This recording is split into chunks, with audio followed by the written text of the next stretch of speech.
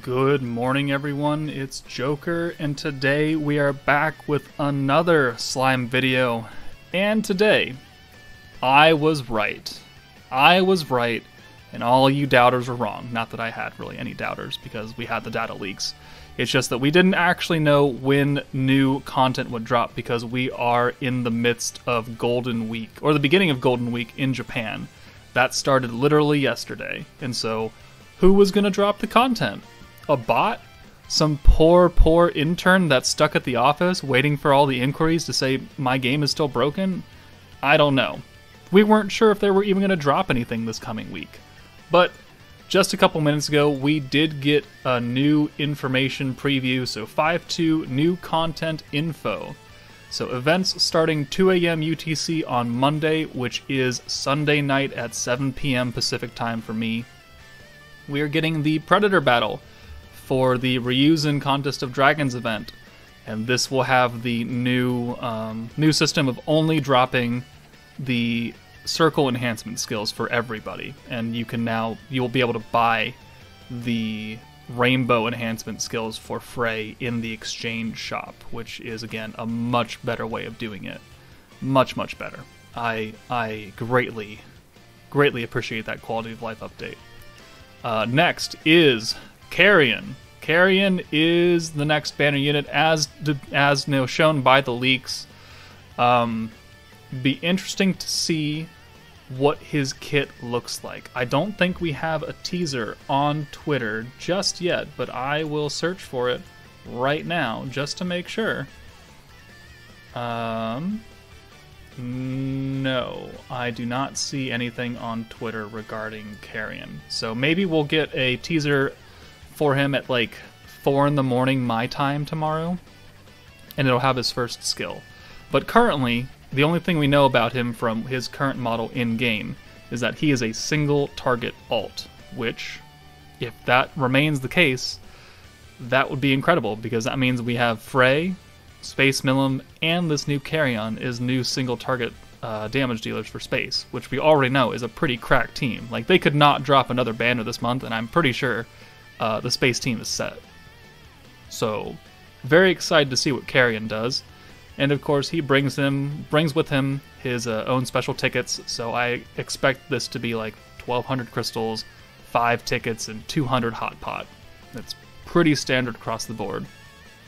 And then we also have upcoming Heroes Jubilee Blitz against Octagram Guy. So it's time to get sweaty, everybody. It's time to sit down, waste a few hours or more of your life, depending on how sweaty you want to get. But the next Jubilee is coming, and you bet your ass that we're going to go hard. But I am interested to see, because of Veldora, this is type neutral, so you can use any team. Because of the power creep that Protector Vel- uh, has introduced in that 10% stacking, will overkill damage still be a thing? Will it not really matter? Will the turn bonus now take into effect much more harshly? Because you could probably sit in Jubilee and stack forever, or as long as you can live, and then just nuke the crap out of Guy and get a million damage. I don't know. We're gonna test it out though. You bet your ass I'm gonna test that out.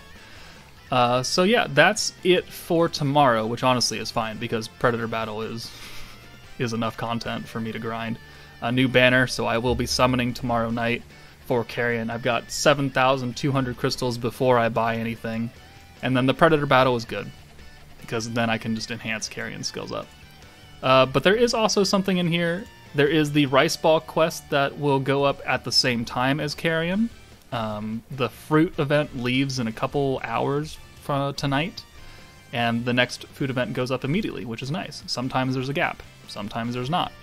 Um, this is just another free, what, 75 crystals, and get healing potion times 20 in the login mission on now?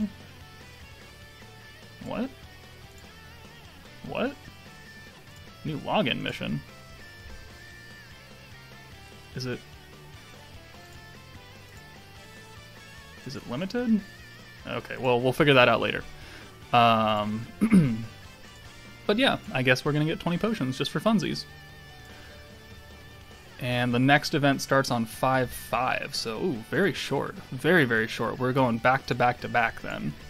All right. And then the last thing that was actually announced this morning, but I didn't cover it because I didn't really feel it needed a video, is this extra Isekai Revelry sale.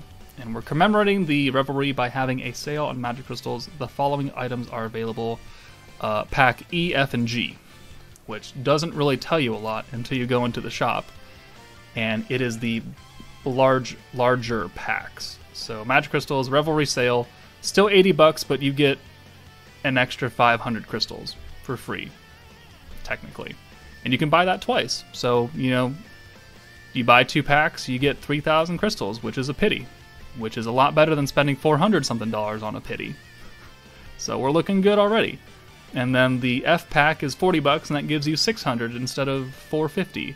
And then the E pack is 350 instead of like 125 or something, 275 or 470. Okay, yeah. Here's here's the the normal stuff. But yeah, and then I still have to buy oh, this pack. I should I'll buy that after this video. And I still have to buy these packs too. And I still have to buy the Earth Coin pack. Like I have so much crystals left on the table in the shop that I can easily probably get back up to like 12,000 crystals tomorrow, along with the other ticket packs. So that'll be fun. But that's it for the news update, everyone. Uh, Jubilee, Carrion, Predator Battle, Rice Ball Quest. Coming tomorrow, 7 p.m. Pacific time. I will be streaming. But that's it from me, guys. Take it easy, and I'll see you later.